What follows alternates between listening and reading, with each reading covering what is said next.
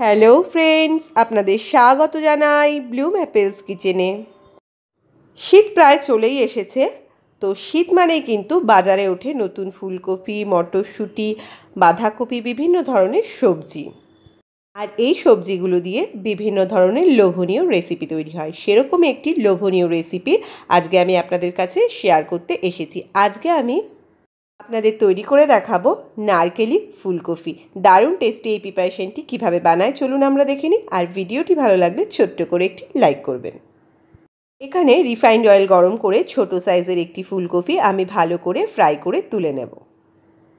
ফুলকপিটা ফ্রাই হয়ে গেছে। দেখুন, হালকা ব্রাউন কালার করে আমি ফ্রাই করে নিয়েছি। এইবার কড়াইতে দিয়ে দিয়েছি ডুমো ডুমো করে কেটে আলু। এবার আলুগুলো আমি ভালোভাবে ফ্রাই করে তুলে নেব। কড়াইতে একটা তেজপাতা, শুকনো লঙ্কা আর সামান্য সাদা জিরা আমি ফোড়ন দিয়ে দিয়েছি। এইবারে দেব সামান্য হিং। দিয়ে আমি দিয়ে দেব আদা আর লঙ্কা বাটা।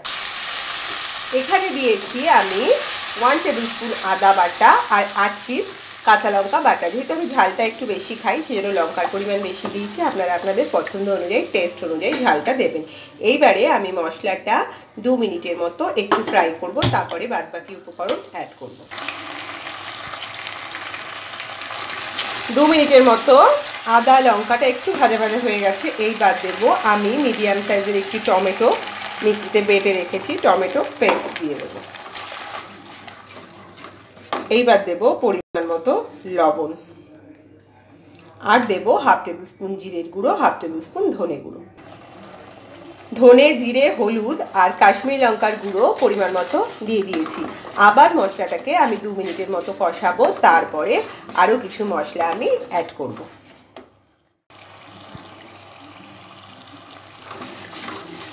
মশলাটা আবার দু মিনিট কষিয়ে নেওয়ার পর দেখুন কি সুন্দর কালার চলে এসেছে। এইবারে আমি দিয়ে দেব ওয়ান টেবিল স্পুন নারকেল আর ওয়ান টেবিল স্পুন দই আমি একসাথে মিক্সিতে ব্লেন্ড করে রেখেছি, সেই পেস্টটা আমি দিয়ে দেবো। এক্ষেত্রে বলে রাখি, যেহেতু ফুলকপির পরিমাণ কম, সেহেতু আমি কম মশলা ইউজ করছি।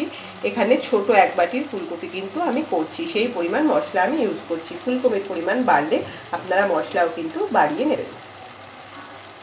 মানে এখানে আমি একটি ছোট সাইজের ফুলকপি নিয়েছি, এক পিস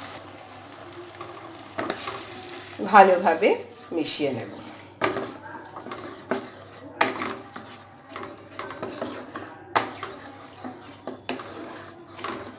এইবারে হিট লোতে রেখে দু থেকে তিন মিনিট মশলাটা আমি আবার কষাবো। মশলাটা আবার দু মিনিট কষিয়ে নেওয়ার পর দেখুন কি সুন্দর কালার চলে এসেছে। এইবারে আমি দিয়ে দেব ওয়ান টেবিল স্পুন নারকেল আর ওয়ান টেবিল স্পুন দই আমি একসাথে মিক্সিতে ব্লেন্ড করে রেখেছি। সেই পেস্টটা আমি দিয়ে দেবো। এক্ষেত্রে বলে রাখি, যেহেতু ফুলকপির পরিমাণ কম, সেহেতু আমি কম মশলা ইউজ করছি। এখানে ছোট এক বাটির ফুলকপি কিন্তু আমি করছি। সেই পরিমাণ মশলা আমি ইউজ করছি। ফুলকপির পরিমাণ বাড়লে আপনারা মশলাও কিন্তু বাড়িয়ে নেবেন।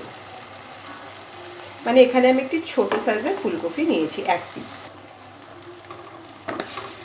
ভালোভাবে মিশিয়ে নেব।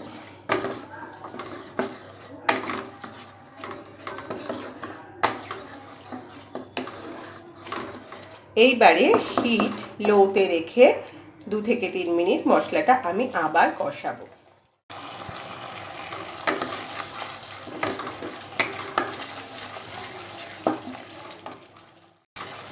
মশলাটা পুরো কষা হয়ে গেছে, সুন্দর একটা গন্ধ বেরিয়েছে, এই পর্যায়ে আমি দিয়ে দেব। সামান্য চিনি। তবে যারা একটু মিষ্টি পছন্দ করেন, একটু বেশি চিনি দিতেই পারেন। এইবার দেব মটরশুঁটি।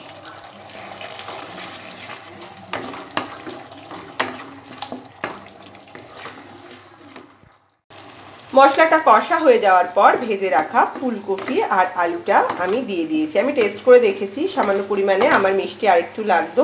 তো আমি সামান্য চিনি আরও অ্যাড করেছি। আপনারা টেস্ট অনুযায়ী চিনি অ্যাড করবেন।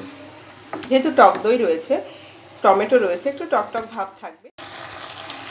সেই জন্য চিনিটা একটু বেশি দিতে হবে। দেখুন কি দারুণ কালার চলে এসেছে।